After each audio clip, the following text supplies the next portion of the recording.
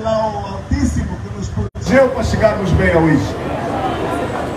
Dizer também que nós, na marcha que fizemos para as eleições, começamos a andar com uma campanha vitoriosa aqui no IS. Foi no IS. Seu secretário, lembra-se? Em 2000 e 2000 e 2021, em março de 2021, viemos aqui comemorar o 13 de março e tivemos uma enorme recessão à entrada daqui do. Muito grande recessão. E foi um pouco 2021, é o que eu estou a dizer. E marcou de forma muito forte o percurso que nós fizemos a seguir. Muito importante esse percurso. Eu falo disto porque não tivemos a possibilidade de vir ao IGE durante o período da campanha eleitoral. Eu quero agradecer a vossa compreensão. Nós tivemos que nos repartir. Nós tivemos uma pré-campanha que foi muito complicada, onde tivemos que andar muito dentro e fora do país. E roubou-nos tempo para vir a todas as nossas províncias. Eu agradeço a compreensão do IGE, agradeço também a vossa participação nas eleições. Estou, em nome da UNITA, dizer muito obrigado pela vossa intervenção. Muito obrigado. Muito obrigado.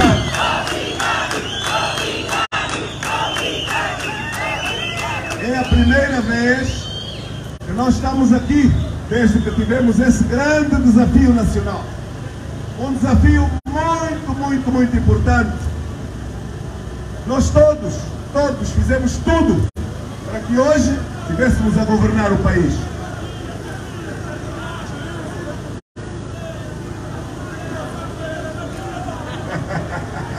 A sombrinha já puxou, vamos ter calma.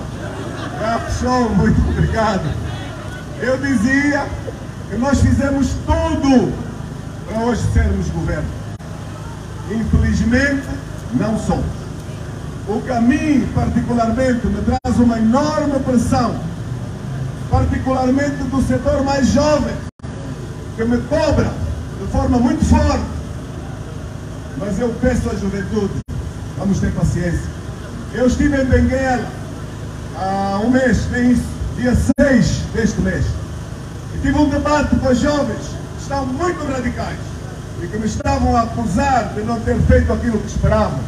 E eu disse aos jovens: vamos tirar leituras daquilo que nós vivemos, vamos participar mais. E se alguma coisa eu trago para estes encontros de proximidade, é um incentivo à participação. Não vamos ficar em casa, vamos ocupar os nossos lugares. E nós, enquanto partido, nós fizemos os balanços e nós estamos a organizar melhor. Porque, de facto, as conquistas do poder são melhor por via democrática. As revoluções não trazem bons resultados, companheiros. Não é por esse caminho. Não é fácil. Não é, não é fácil afirmar, mas não há caminho alternativo. Vamos nos organizar melhor. Melhor para o futuro. Nós estamos no lixo para, não para os comícios. Nós não viemos para fazer comícios. Isso foi durante a campanha eleitoral. Estamos a usar este momento porque encontramos esta massa de membros, de angolanos, de cidadãos. Estamos a querer retribuir. Nós viemos para conversar sentados, de proximidade. Nós viemos para ocupar todas as horas dos dias que estivermos aqui para sentar com as várias organizações da sociedade, com as várias organizações do partido e conversarmos sobre os nossos desafios. Trazemos uma mensagem, mas queremos ouvir as vossas esperanças, expectativas, a vossa cobrança, as vossas reclamações. Para quê? Para quando sairmos daqui, realinharmos melhor os programas, irmos de encontro às vossas vontades. Esse é o nosso objetivo, esse é o nosso interesse. Vamos ficar aqui alguns dias e nesses dias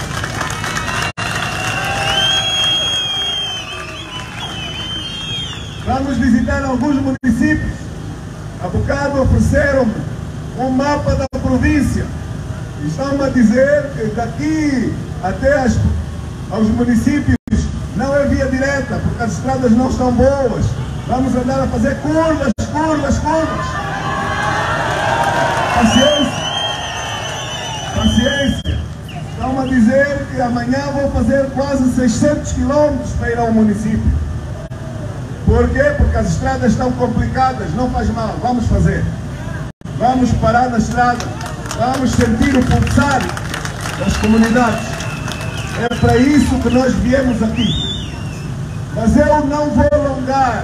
E eu, antes de terminar, vou dizer que nós temos um grande objetivo. Nós temos que realizar o poder local. As autarquias locais têm que sair. Têm que sair. A pobreza que nós estamos a ver que está a crescer no país é consequência da falta do poder local, entre outras questões, entre outras. Mas a corrupção que é grande, ela é grande porque não há autarquias também. A falta da boa escola, a falta do bom hospital, a falta de serviços públicos adequados, é falta das autarquias. Quem nos governa, o partido que está no poder, tem medo de transferir poderes para o povo, tem medo das autarquias.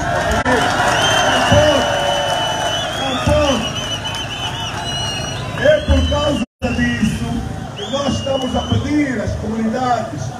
É preciso sair sim a exigir direitos. É constitucionalmente garantido. Temos 164 municípios. O que é que o regime diz? Quer eleições em 164? Quer? Quer? Não quer. Está a dizer o quê?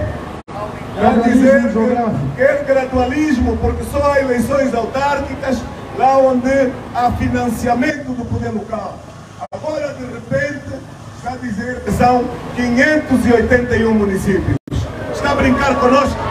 Está a brincar conosco? Está a brincar com o país, está. É o resultado do medo. Ficou só uma lei. Só falta uma lei para as autarquias. Essa lei há cinco anos que já está aprovada na Generalidade. Não querem trazer essa lei. Mas nós estamos a ouvir dizer, ouvimos um discurso a semana passada na Assembleia. O presidente do grupo parlamentar do MPLA está a dizer o MPLA é o partido do diálogo, o MPLA é o partido da coesão nacional. Vocês concordam? Não! Vocês concordam? Não! Mas nós, nós sabemos por que estão a dizer isso. Nós entendemos muito bem por quê.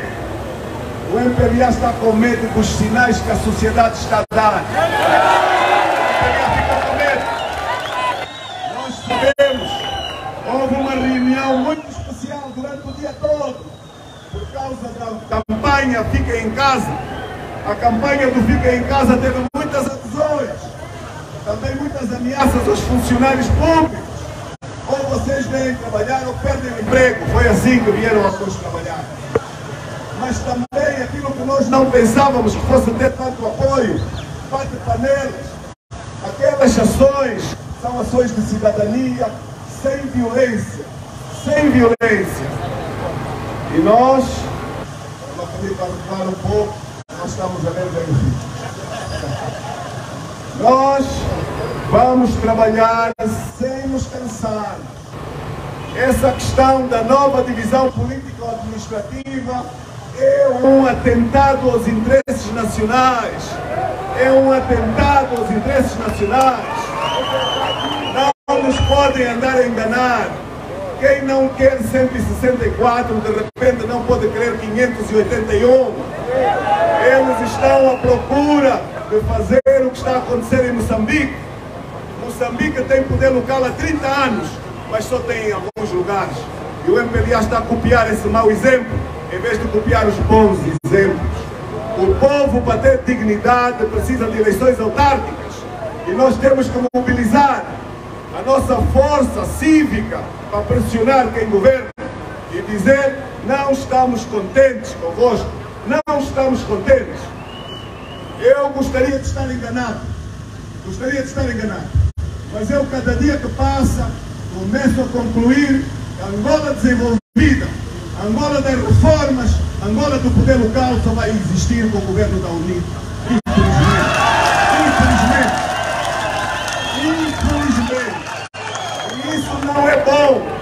Isso não é bom. O MPLA está cansado, queria ir para casa.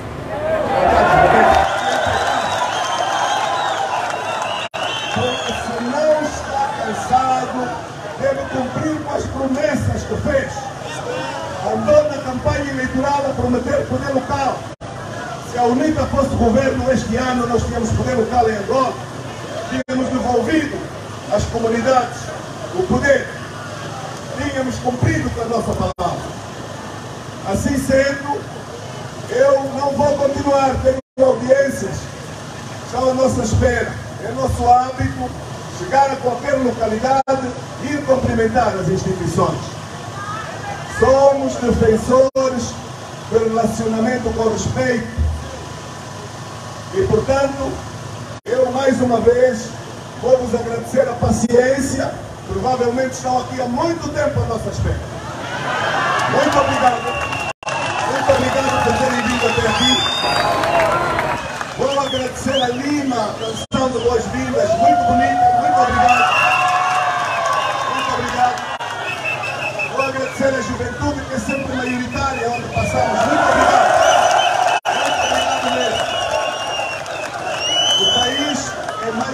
Do que nosso. Vamos fazer tudo para que o país seja mesmo vosso. Vamos fazer tudo, tudo. E não posso deixar de dirigir aos mais velhos, que aqui estão também, o obrigado por aqui terem vindo. Então, a todos, vou até mais logo. Eu, desculpem, vou agradecer aos motoqueiros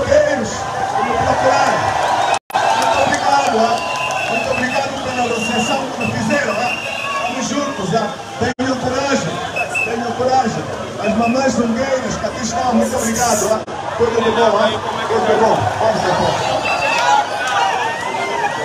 Assim, eu vou pedir, estejam presentes nos encontros parcelares que vão ter lugar. Nós viemos para vos ouvir, para sairmos daqui mais ricos em relação aos desafios que a província tem. Esta é uma província poderosa, poderosa. Não tem motivo para ter os problemas que tem.